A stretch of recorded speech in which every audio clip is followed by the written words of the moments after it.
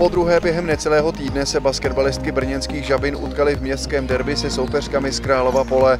Na konci ledna je vyřadili v semifinále Českého poháru a celý turnaj pak po 17. v historii vyhráli. Tentokrát se s nimi utkali v rámci 15. kola renomia ženské basketbalové ligy v jejich domácím prostředí. I když kvůli pokládce hrací plochy na futsalovou kvalifikaci mistrovství světa se hrálo ve Vodově ulici netradičně ve staré hale.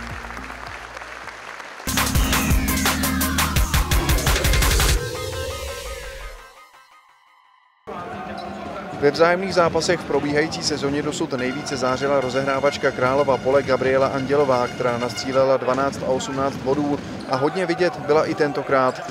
Domácí basketbalistky si i díky jejímu výkonu vytvořili ještě v úvodní čtvrtině osmibodový náskok. Větším rozdílem už žádný z týmů v následujícím průběhu nevedl. Žabiny dlouho dotahovaly a poprvé měli navrh až v 17. minutě.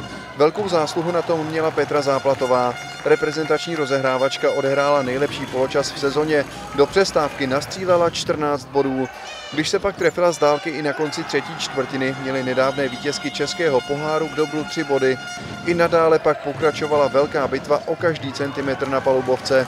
Ještě čtyři minuty před koncem utkání bylo skóre vyrovnané, pak začaly domácí hráčky z Králova pole častěji faulovat a Žabiny z toho vytěžily osm úspěšných trestných hodů za sebou. Sedm z nich proměnila při 100% úspěšnosti další česká reprezentantka Beata Adamcová a zápas tím rozhodla.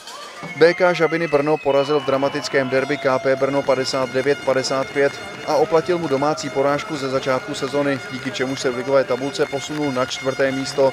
Královo pole je i přes prohru stále druhé za vedoucím ZVVZ USK Praha.